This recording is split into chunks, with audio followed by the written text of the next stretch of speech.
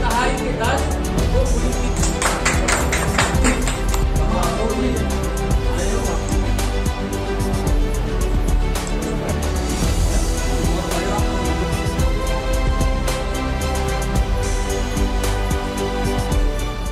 केंद्र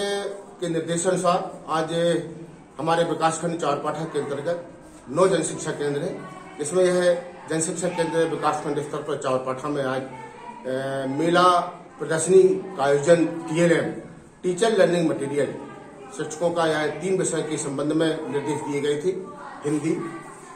गणित और विज्ञान। इस संबंध में हमारे समस्त जन शिक्षा केंद्र के शिक्षकों ने और टीएलएम का निर्माण किया है, जिसकी यह सारी प्रदर्शनी यहाँ आज लगाई गई है, जिसका हमारे द्वारा अभी अवलोकन भी